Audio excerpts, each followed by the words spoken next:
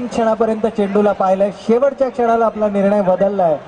आणि या अगोदरच्या दोन चेंडूंवरती जर आपण विचार केला तर रुपेश वेगाने बॅट फिरवत होता.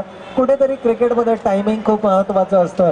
कारण वेगाने चेंडू मारण्यापेक्षा किंवा घणाघाती प्रहार करण्यापेक्षा जर आपण चेंडू टाईम करता आला तर निश्चितपणे ती आपली जमेची बाजू ठरू शकते. रुपेशनं ओळखलंय आणि यावेळेस मात्र रुपेशनं अंतिम क्षणापर्यंत चेंडू पाहिलाय. शेवटच्या क्षणाला रिव्हर्स स्वीप केलंय चेंडूला. अंतिम षट चेंडूवरती चौकार आलाय. पहिल्या षटकाच्या समाप्ती अखेर धावफलकावर धावा आल्या त्या बिनबाद चौदा धावा.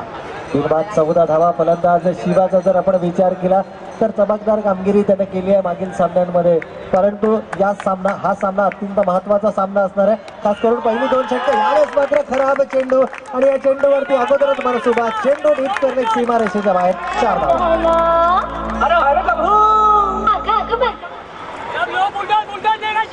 यावेळेस मात्र चेंडू जातोय सीमा रेषेच्या बाहेर. चार धावांकरता आणि हीच आपण ताकद समजत होतो कारण पाच षटकांमध्ये वीसच्या सरासरीनं शंभर धावा उभारण्याचा मनसुबा असेल का? हा प्रश्न उपस्थित केल्यानंतर शिवायनं निश्चितपणे दुजोरा दिला होता की जर संधी मिळाली तर निश्चितपणे शंभर धावा गाठण्याचा आमचा मनसुबा असणार आहे. कारण आपण पाहतो हल्ली टेनिस क्रिकेटमध्ये शंभर हा आकडा आपल्याला सहजगत्या पार करताना पाहायला मिळालाय. तर पाहूया दोन दिग्गज संघादरम्यान रंगणारा हा सेमीफायनलचा सामना. यावेळेस मात्र जबरदस्त टायमिंग क्लास दाखवलाय फलंदाज शिवाना. चार धावांकरता.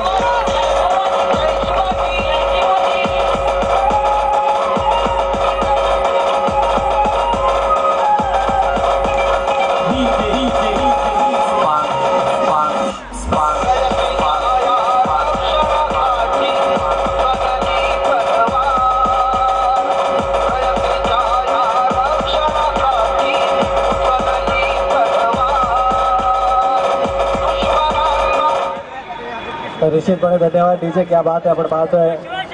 छत्रपती शिवाजी महाराज क्रीडांगणच्या मैदानावरती रंगणारा ही संघर्ष चषक दोन हजार सतराची स्पर्धा महाराष्ट्राचे आराध्य दैवत आणि हिंदवी स्वराज्याचे संस्थापक छत्रपती शिवाजी महाराजांना महाराजा मुद्रा यावेळेस मात्र पुन्हा एकदा ऑन साईडच्या दिशेने चेंडू आहे पूर्णपणे आक्रमण केले ते फलंदाज. शिवायला चौकार हॅट्रिक लगावली आहे. बॅक टू बॅक हा तिसरा चौकार.